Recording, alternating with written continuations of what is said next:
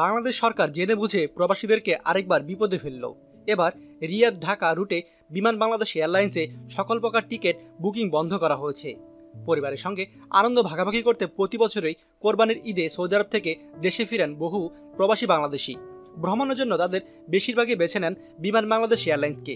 কিন্তু বিনা নোটিশে রিয়াদ থেকে ঢাকা রুটে চোদ্দ জুলাই থেকে ছাব্বিশে সেপ্টেম্বর পর্যন্ত আগাম টিকিট বুকিং বন্ধ করে দিয়েছে বিমান কর্তৃপক্ষ। এতে বিপাকে পড়েছেন প্রবাসী বাংলাদেশিরা। রিয়াদ ঢাকা রুটে বাংলাদেশ বিমানের ফ্লাইটে প্রতিদিন গড়ে আটশো আটত্রিশ জন যাত্রী ভ্রমণ করেন। বছরে এর সংখ্যা প্রায় আড়াই লাখ। আর ঈদ উপলক্ষে বিমানের টিকিটের চাহিদা বেড়ে যায় কয়েক গুণ।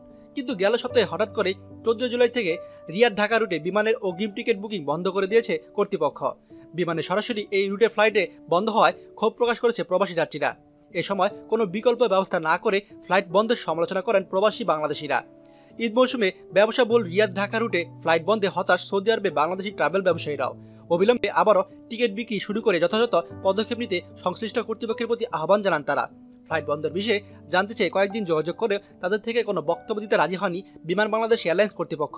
সূত্র সময় নিউজ ডট টিভি আপনারা একটাবার ভেবে দেখুন বিমান বাংলাদেশ এয়ারলাইন্স শুধুমাত্র মুনাফা খাওয়ার জন্য আমাদের প্রবাসী ভাইদেরকে এভাবে বিপাকে ফেলল।